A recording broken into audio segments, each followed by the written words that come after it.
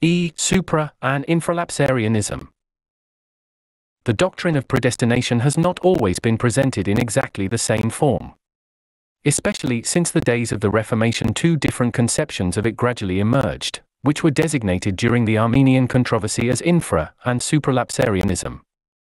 Already existing differences were more sharply defined, and more strongly accentuated as the results of the theological disputes of that day. According to Dr. Dirk, the two views under consideration were in their original form simply a difference of opinion respecting the question whether the fall of man was also included in the divine decree. Was the first sin of man, constituting his fall, predestinated, or was this merely the object of divine foreknowledge? In their original form, supralapsarianism held the former, and infralapsarianism, the latter.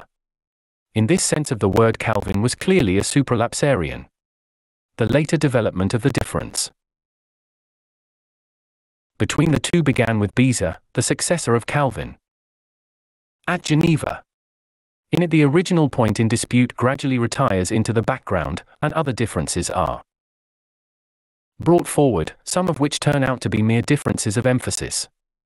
Later infralapsarians, such as Rivet, Walaeus, Mastricht, Turretin, Marck, and Moore, all admit that the fall of man was included in the decree, and of the later supralapsarians, such as Beza, Gomarus, Peter Martyr, Zanchius, Ursinus, Perkins, Twisse, Trigland, Voetius, Burmannus, Witsius, and Comrie. At least some are quite willing to admit that in the decree of reprobation God in some way took sin into consideration. We are concerned at present with supra and infralapsarianism in their more developed form.